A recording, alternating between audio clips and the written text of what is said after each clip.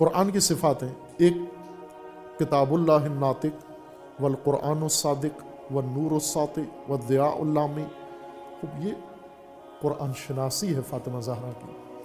कुरान फहमी है फ़ातिमा जहरा की। जनाब सैदा दो चीज़ों से बहुत उन्स व मोहब्बत रखती थी, बहुत उन्स। उन दो हकीकतों से दूरी बहुत दुशवार थी। एक रसूलुल्लाह सल्लल्लाहु अलैहि वसल्लम से वालहाना मोहब्बत थी बीवी। और एक कुरान से।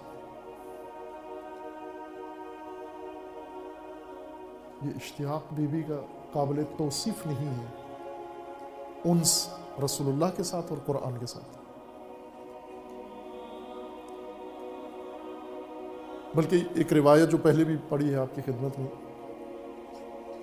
एक दिन रसूलुल्लाह सल्लल्लाहु अलैहि वसल्लम के पास हज़रत जब्राइल तशरीफ़ लाए। सलाम कहा। अल्लाह का सलाम पहुँचाया, अल्लाह का दरूद पहुँचाया। और चूँकि जब भी जब्राइल तशरीफ़ लाते, वही लेकर आते, पैगाम लेकर आते, हुक्म लेकर आते, कोई फैसला लेकर आते जबरील तशरीफ़ लाए, रसूलुल्लाह ने इस्तफसार फरमाया ए जबरील, क्या लाए हैं आज? रसुल्ला का फरमाना है कि जबरील अमीन ने जवाब दिया, या रसोल्ला आज अल्लाह की तरफ़ से आपके लिए नहीं पैगाम आया। आज अल्लाह की तरफ़ से फातिमा जहरा के लिए पैगाम आया।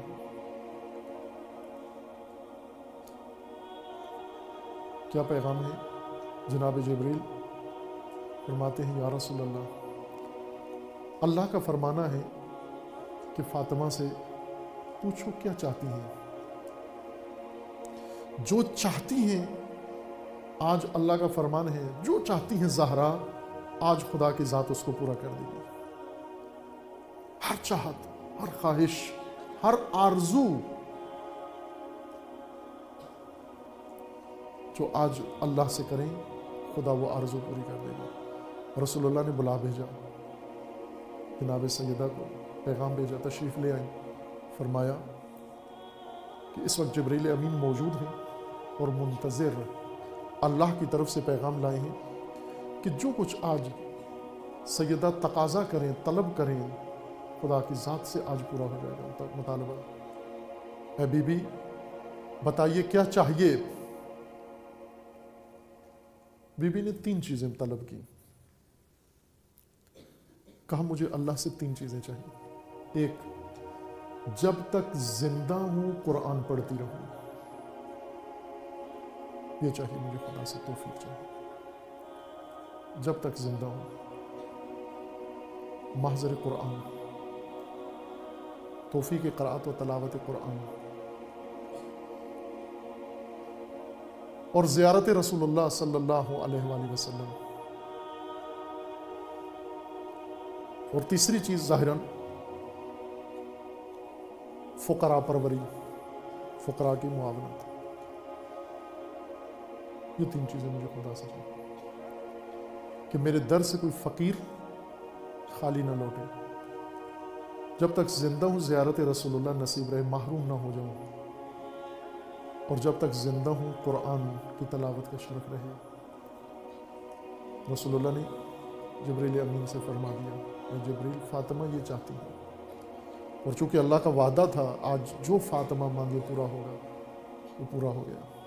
रिवायात में है कि रसूलुल्लाह जनाब सैदा से पहले दुनिया से रुखसत हुए और आखिरी वक्त तक जनाब सैदा से ज़ियारत रसूल नहीं छूटी और तलावत कुरान नहीं छूटी।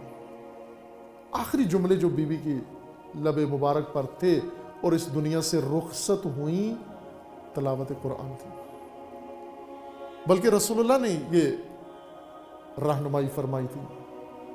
एक दिन जनाब रसूल खुदा बीबी के पास तशरीफ़ ले गए। देखा थोड़ी खस्ता है।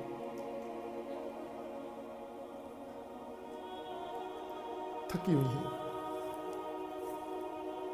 चेहरे के ऊपर खस्तगी के आसार हैं।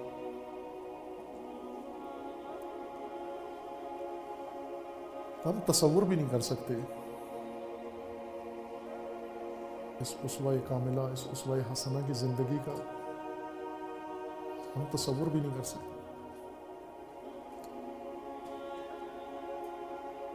बीबी के हाथों पे छाले पड़े होते थे, चक्की चला चला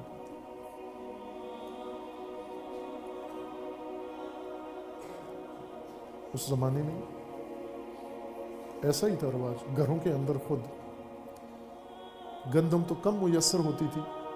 खास खास लोग थे जो गंदम की, खा, की रोटी खाते थे। जौ।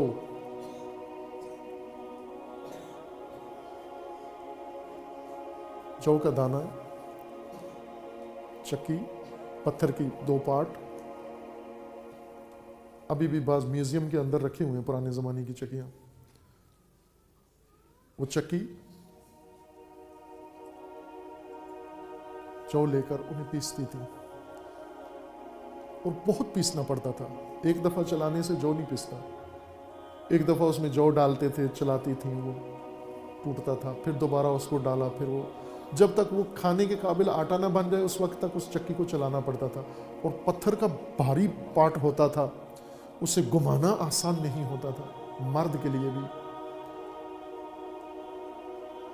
और दिन भर सैदा ये अमल अंजाम देते उस चक्की से हाथों पे छाले पड़ जाते थे। और सिर्फ़ हाथों पे छाले नहीं होते थे, बल्कि पूरा बदन रंजूर हो जाता था।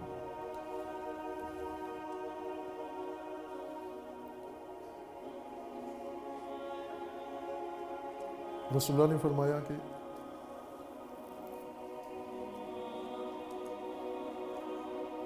फातिमा, अगर आप चाहती हैं तमाम नबियों की ज़ियारत करें। और आप चाहती हैं कि रोज़ाना ख़त्म कुरान करें तो ये अमल अंजाम दें। और वो बीबी की सीरत बन गई और वसीयत बन गई सब के लिए। कि रात को सोने से पहले बीबी कुरान पढ़ के सोती थी।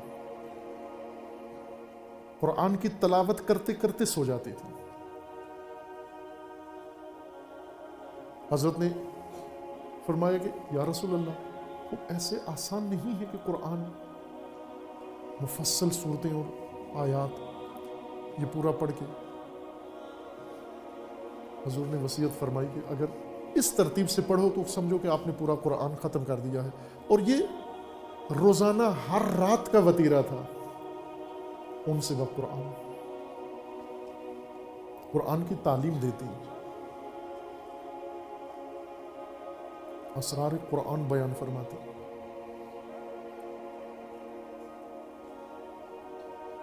इसलिए कुरान के रमूज से आशना थी बीबी।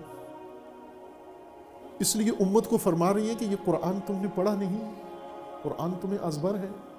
तुम्हारे अंदर मौजूद है कुरान। और ये जो फैसले किए हैं, ये जो इकदाम कर रहे हो, ये सब तो कुरान के अंदर मौजूद था। क्या तुमने कुरान नहीं पढ़ा? क्या आज आकर अगर हमारी हालत देखें तो पहला सवाल ये नहीं हमसे पूछेंगे कि तुम्हारी हालत है कुरान नहीं है तुम्हारे पास? कुरान नहीं खोला तुमने? कुरान ने तुम्हें कुछ नहीं बताया? कुरान सिर्फ़ मुर्दों पे पढ़ा है तुमने। और ज़ियारत रसूल अक्रम, आखिर तक बीबी को ये ज़ियारत नसीब रही। और इसरार था। रसूलुल्लाह की भी ताकीद थी और बीबी का भी इसरार था कि हर रोज़ अगर रसूलुल्लाह मदीना में ही तशरीफ़ फरमा होते तो चंद दफ़ा ज़्यारत करती। और अगर मदीना से बाहर तशरीफ़ ले जाते, जब भी वापस हजूर तशरीफ़ लाते, सबसे पहले बीबी के हुजरे में, बीबी के घर में जाते, सलाम कहते, ज़ियारत करवाते और उसके बाद अपने हुजरे में जाते। ये सुन्नत थी रसोल्ला की, ये रवश थी रसोल्ला की।